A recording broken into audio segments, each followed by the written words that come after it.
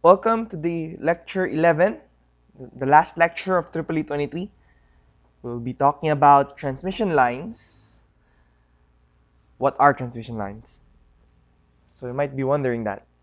Transmission lines generally are media that are used to transfer current.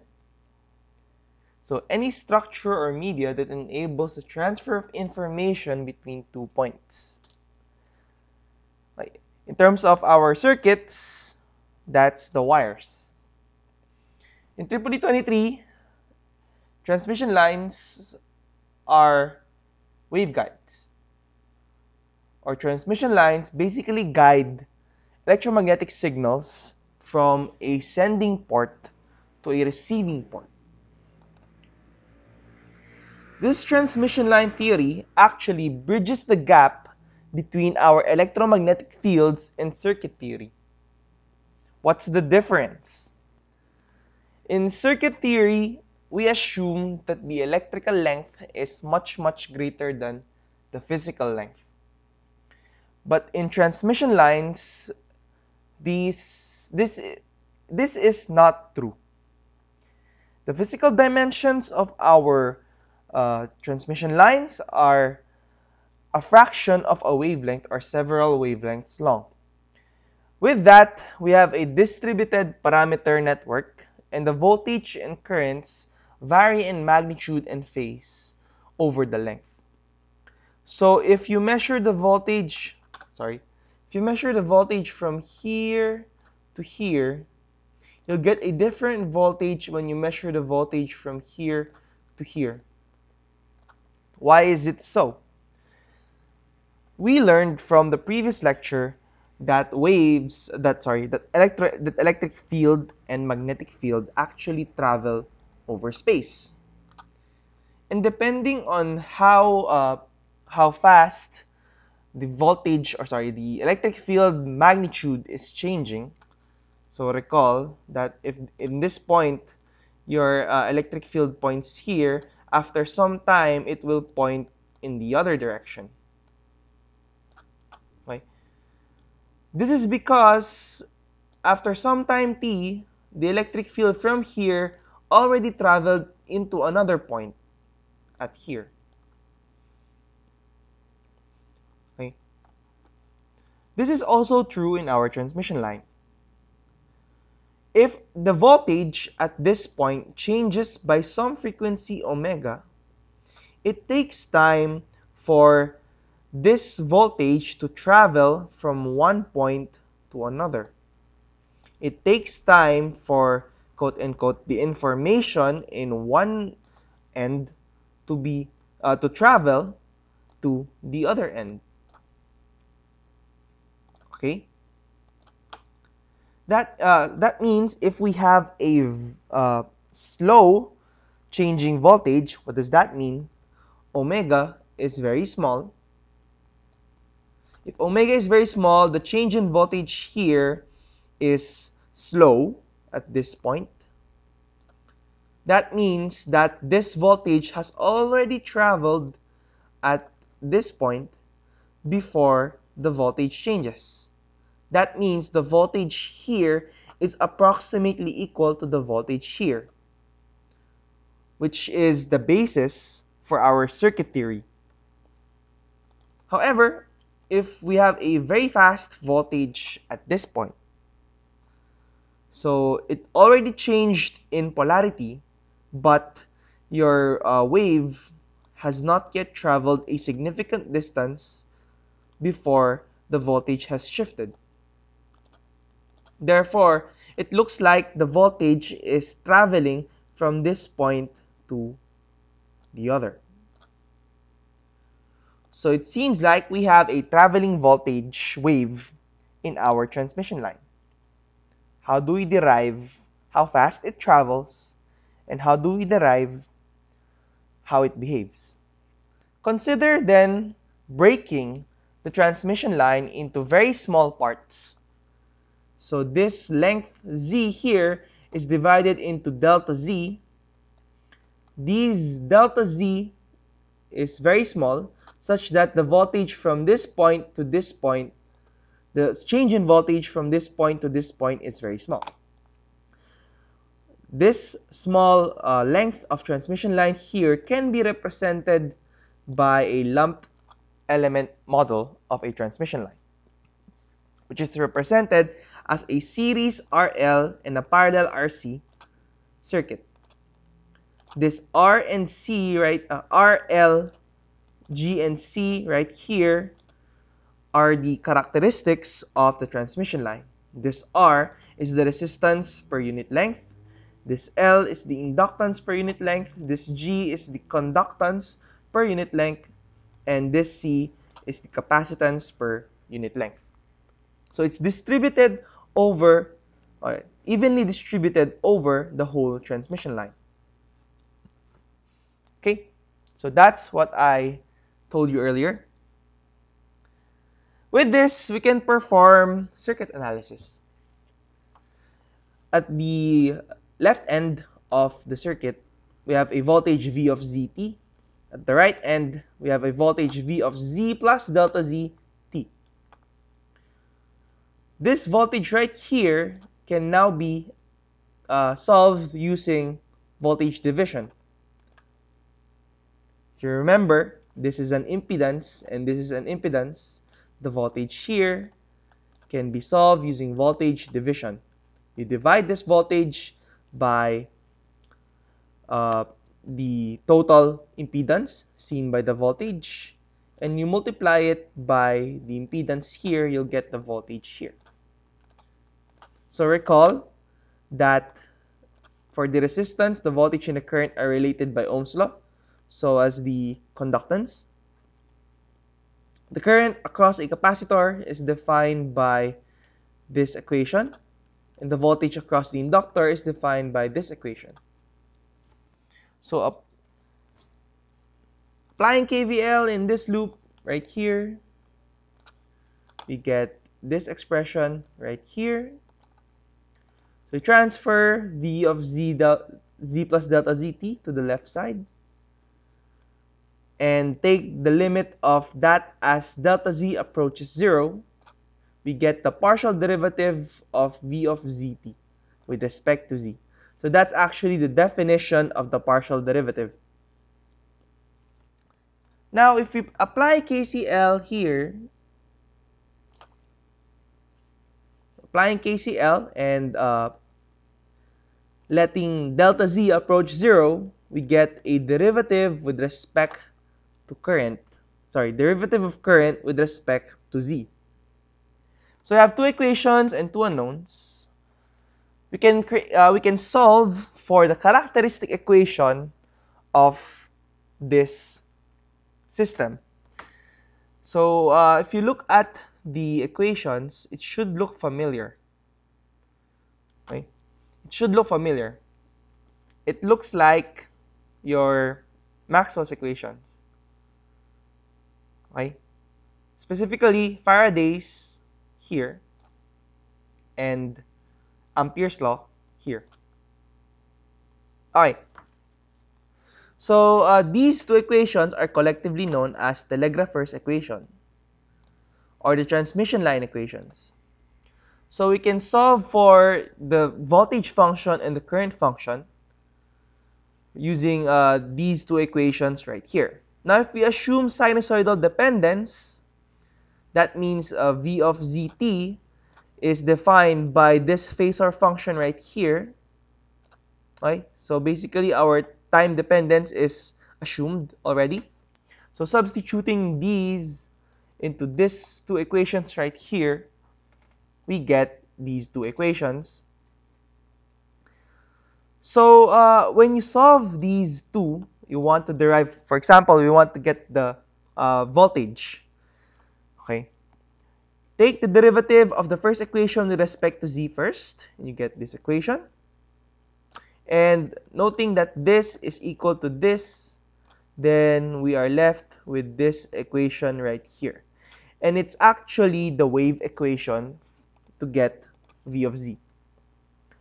This uh, function right here is the propagation constant for the wave equation. So this is gamma squared. As you recall, gamma from the previous lecture for our lossy, uh, lossy medium. Okay, so if we try to derive the equation for the current, we'll also get the same result. So the current and the voltage actually propagate okay, actually propagate within our transmission line. So the general solution for these two equations, right, uh, for, for, of this these two equations, is that the current is a wave, has a forward component and a backward component. Similarly, the voltage is also a wave that has a forward component and a backward component. component. To derive the relationship between them, well, consider first the voltage. If you get if you get the negative derivative of the voltage, you get this expression right here, which is equal to this. Okay, this is from your uh, KVL equation. So you can solve for I of z by dividing this function or this derivative by r plus j omega l. So the expression for current becomes this equation. And let's consider this first. This gamma over r prime plus j omega l prime, this actually represents your impedance. Okay? So let's define the characteristic impedance as the forward, the magnitude of the forward wave divided by the magnitude of the reverse wave which is equal to negative v uh, negative the magnitude of the reverse wave over the magnitude of the reverse wave for the current. Okay. So uh, that is just basically the reciprocal of this. And since gamma, okay, we already got gamma earlier. It's this expression right here. Substituting that, we get the formula for the characteristic impedance of the line. This characteristic impedance describes the behavior of our transmission line. Okay. So just some note, if you divide V of Z by I of Z, that is not Z naught. Okay? Z naught is not your, uh, it's not basically not equal to V of Z over I of Z. So this is a different uh, value. Alright. So, uh, to summarize all that, your voltage uh, function is actually a wave. If you put the time dependence back or you want to get the time domain expression, you get this these equations right here. So since there are waves, there's a velocity for the wave and there's also a wavelength. So the, the wavelength is just the same, 2 pi over beta, where beta is the imaginary component of the square root, oh sorry, the imaginary component of the wave number or the propagation constant. Okay, and the phase velocity is equal to omega over beta, which is equal to the wavelength multiplied by the frequency. Consider the case when we have a lossless transmission line. So recall for our initial discussion, uh, we have a general transmission line. The propagation constant is, is complex. What does that mean? If you look at the equation right here, the forward traveling wave is actually attenuated. The backwards traveling wave also attenuated. Our lossless transmission line uh, in most cases, the loss is very small. If the, the losses are negligible, then the resistance per unit length and the conductance per unit length is approximately zero. So a good question is that is, is why is it that? I'll leave that to you. If R is zero, that's essentially short. If G is zero, that's essentially an open circuit. Therefore, the properties of the transmission line becomes this. Your gamma will be purely complex, sorry, purely imaginary. And uh, the beta becomes equal to omega square root of L prime C prime. Your characteristic impedance will become purely real. That's square root of L over C. And the general solutions become this equation, these equations rather, right here. So it should look familiar. For your lossless propagation, remember that gamma is equal to j beta, which is equal to j omega square root of mu epsilon. The intrinsic impedance for our plane wave propagation is the square root of mu over epsilon. So let's look at the units. Okay. Mu is measured in is the unit of mu is Henry per meter. The unit of L prime here is also Henry per meter. The unit of epsilon is Farad per meter. The unit of C prime here is also Farad per meter. So actually, these two are analogous to each other if you think about it. So basically, the transmission line propagation is uh, actually similar to your plane wave propagation. Right? So getting the uh, wavelength and the phase velocity, we also have, uh, we just use these equations right here and you'll get them. Right? So this is the basics of your lossless uh, transmission lines or your transmission lines in general. To get R prime, L prime, and C prime, G, C prime, and G prime within a transmission line, you have to look at the electric and magnetic fields. So the previous derivation is based on lumped components. So using what we know in circuit theory, we can actually solve for the properties of the transmission line. So if we use the electromagnetic fields, we can use them to derive the properties of the transmission line, R prime, L prime, G prime, and C prime. And you have been doing this for the past semester.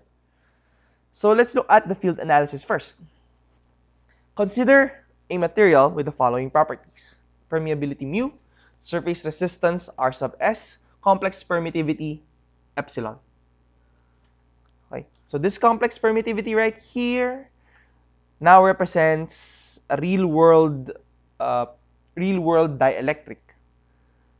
So this J epsilon prime prime here is actually uh, or actually represents the loss.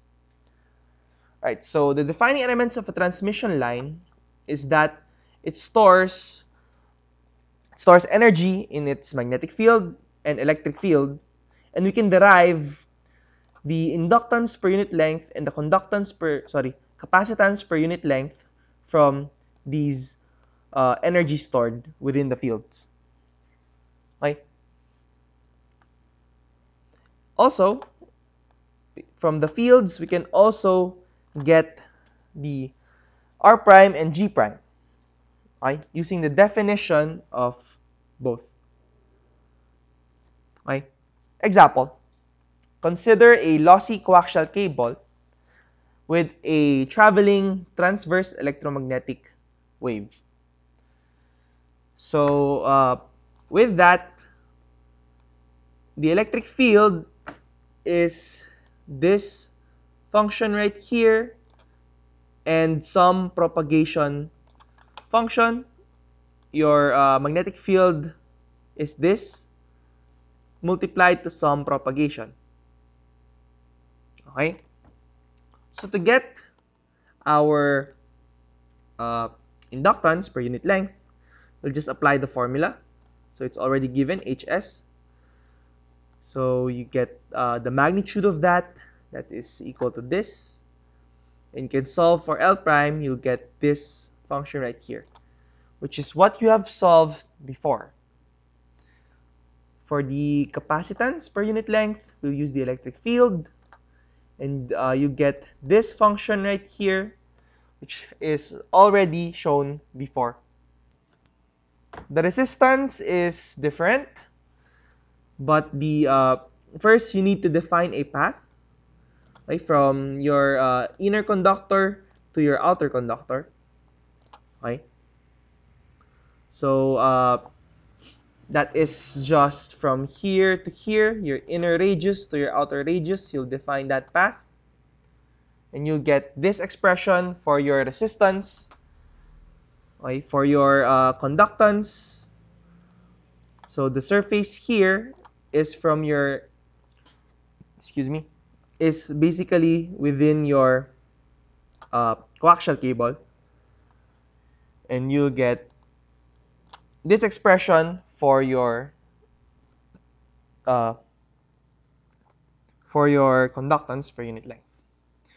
So basically, we uh, the field analysis is used to get or to determine the characteristics of the transmission lines. And with them, you can get the properties or the behavior of your traveling wave within your transmission line. Okay. Now let's consider the case where our transmission line is terminated by our uh, by a load Z sub L. So it, when we derive the transmission line earlier, properties of a transmission line, we assume that it goes on and on forever. Okay? So we assume that it goes on and on forever.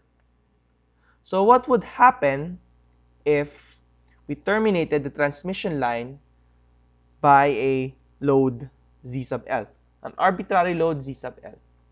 This will be uh, the focus of the discussion on the next part of this lecture. Right? So if you have any questions from the topics previously discussed, do not hesitate to leave a comment in the comment section below. I'll try to answer them as soon as possible. Thank you for listening. I'll see you when I see you.